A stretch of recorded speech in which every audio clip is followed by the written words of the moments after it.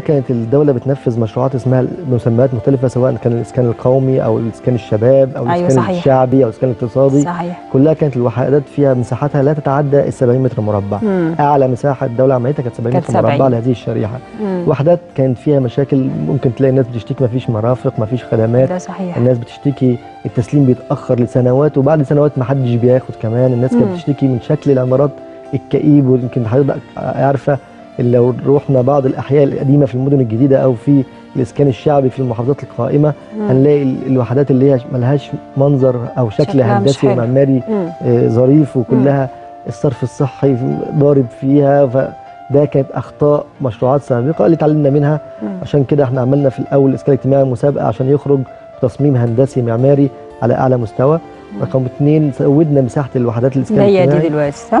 بالظبط يا فندم مم. ديت وحدات الإسكان الاجتماعي زودنا. المساحة خليناها 90 متر مربع ثلاث غرف وصاله وكان ده آه، حاجة من اللي أكد عليها سيادة الرئيس اللي قال لازم تعملوا ثلاث غرف وصاله إن لو راجل آه، متزوج وعنده ولد وبنت لازم في سن معينة. يفصل بينهم محتاج اوضتين حاجة دينيا بالظبط. كمان مم.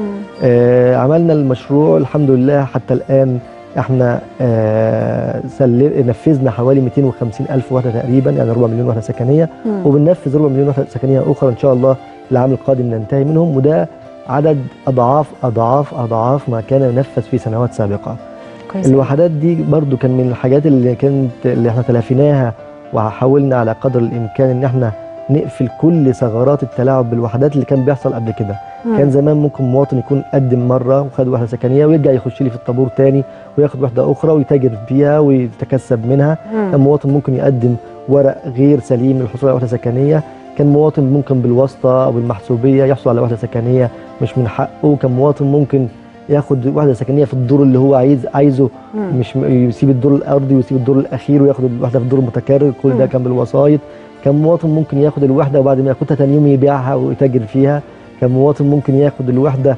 آه، السكنية وتاني يوم يقلبها نشاط تاني يعملها مكتب إداري سوبر مم. ماركت محل تجاري. ايا كان كل السلبيات اللي أنا قلتها دي الحمد لله تلافيناها في هذا المشروع ومش تلافيناها بقرارات ولا. بتعليمات آه. تلافيناها بقانون